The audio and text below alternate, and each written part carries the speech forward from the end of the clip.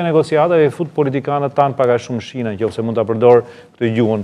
Ç'do të thotë? Do të thotë që hapja e negociatave sjell institucionet europiane në Shqipëri. Domethënë, kur kemi shkuar neve, qoftë nga qeveria, qoftë nga opozita, për të folur me partner shumë të rëndësishëm, që kanë në dorë fate shumë të rëndësishme, jo vetëm Shqipërisë, por vetë Ballkanit, mhm. kemi dhënë premtime, kemi marrë dhe angazhime.